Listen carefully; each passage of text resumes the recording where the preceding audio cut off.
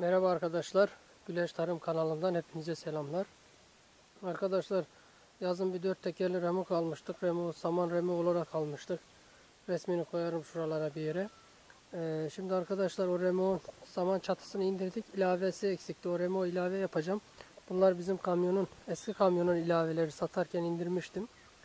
Şimdi bunları kesip biçip dört tekerliğe göre uyduracağım ama ondan önce bir zımpara yapmam lazım. Şimdi bütün aşamaları sizler için çekmeye çalışacağım. Umarım güzel bir video olur. Ee, şimdiden hepinize iyi seyirler dilerim.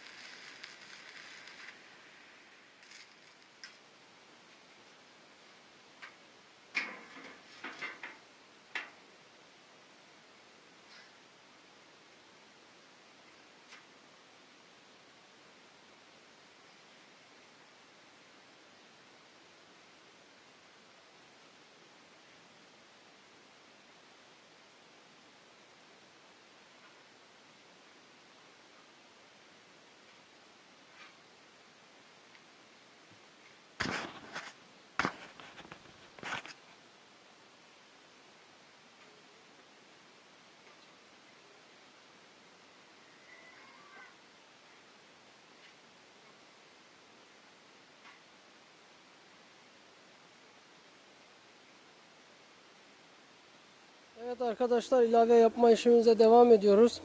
Şimdi bu şu ön ilave uzun gelmişti. Oradan bir parça kestik çıkarttık. Yaklaşık 15 santim kadar bir ilave parça çıkarttık. Ee, bu da kısa geliyordu. Şöyle uç kısmını aldım. Diğerinin uzun gelen parçasını buna ekliyorum. Daha sonra bunu da daha sonra bunu da buraya kaynatacağım. Ee, şu kafaları söküp kaynatma daha zahmetli olduğu için bunları ellemeden aralara ekliyorum. Şimdi göstereyim işlemleri. Bu uzun gelen parçaydı. Bunu kestik. 15 santim kadar kısalttık. Şu ilaveyi hiç kısaltmadık. Bu birebir uydu. Babanın yerine falan birebir uydu bu. Şimdi uzatacağımız ilaveler buralara gelecek. Ee, iki tane uzatacağım. 186 santime uzatılacak onlar. Arka ilave de şurada kamyonun arka kapağı vardı uzun. O da uzun. Onu da arkaya göre keseceğim. 187'ye göre kesip kısaltıp takacağım. Babaları sağlamlaştıracağım. Şimdilik puntalarla duruyor. Ortasına bir tane zincir atacağım. Ondan sonra delik işleri, kama işleri, pim işleri devam edecek. Ara ara sizlere video çekmeye çalışacağım. Umarım güzel bir video oluyordur.